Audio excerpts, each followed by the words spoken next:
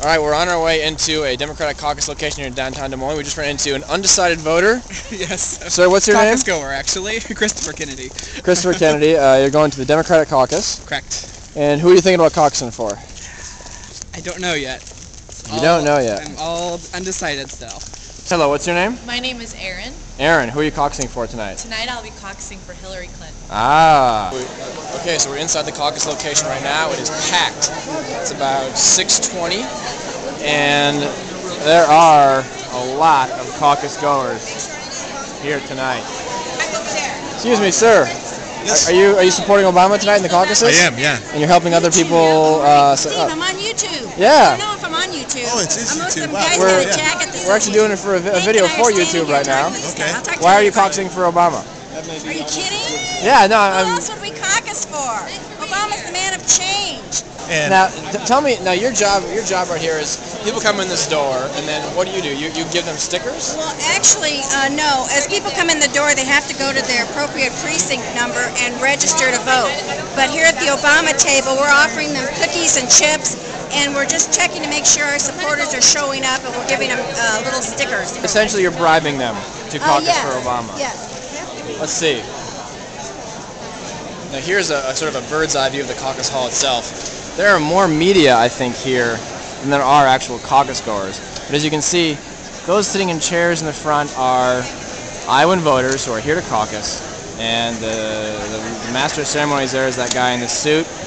He's getting the Iowan voters ready to uh, ready to begin. It's just a little bit after 6:30, and then all along the edge there uh, is where observers and media are uh, to observe what takes place uh, here in the, in the Iowa caucuses.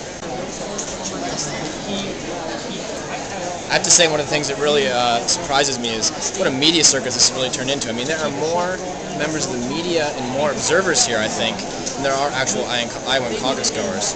I am incredibly excited. There's so much energy here, so much excitement. We're all here. We're all. All right, we had our first star sighting here at the uh, Iowa caucus. This is Valerie Biden, Joe Biden's sister.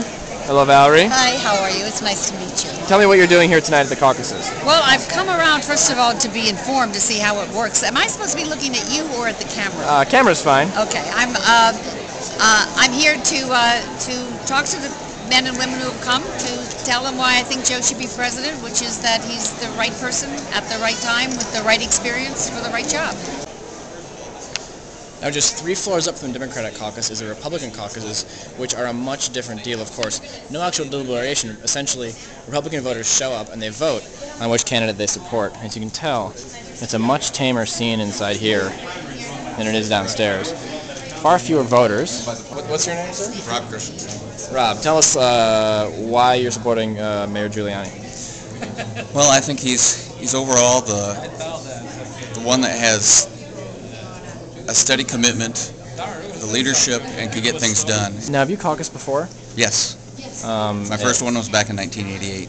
And how would you compare this year's caucus to years past? Well, it's a little bit different. Number one, I am uh, from a rural county up in north central Iowa, so this is my first first one in Des Moines.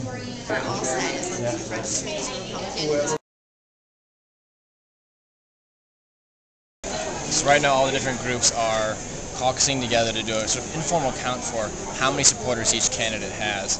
Uh, we have Obama here in the front, Richardson's way there in the back, Hillary's folks are over here to the right. Um, and again, if each group has at least 60 supporters, then their candidate goes on and uh, becomes part of the final tally.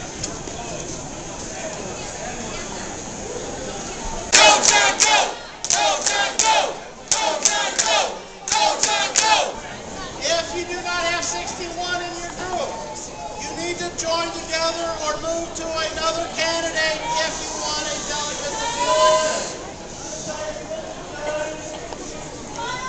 All right, that means the floodgates are open and it's persuasion time.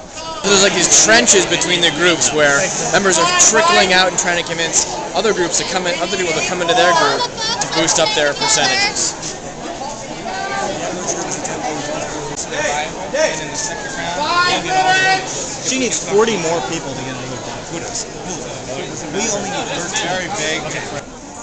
So if you know somebody over there, convince them to come over here. Come on, guys! We need six more people to make Edwards viable.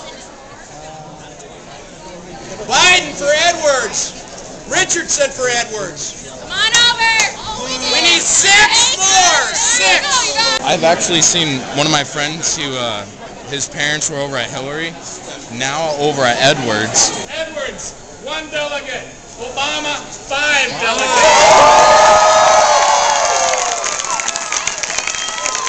You gonna capture this? Yeah. So Democratic caucus just ended. Obama uh, got five of the delegates for this precinct. Edwards got two, and Hillary got three. Hillary got one, Hillary got three. Edward got one, who got three. The Republican caucus, up three flights of stairs. They were done long ago. Not a soul is left in this room.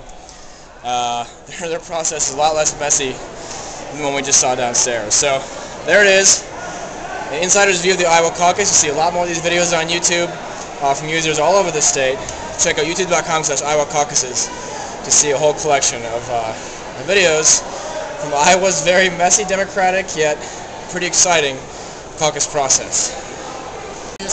Reflections on your first Iowa caucus. It was pretty amazing. It was a very cool process, very hands-on, a lot of yelling and shouting and people trying to convince each other. Um, and very cool to see like in uh, real people's lives democracy happening uh, at a very tangible level.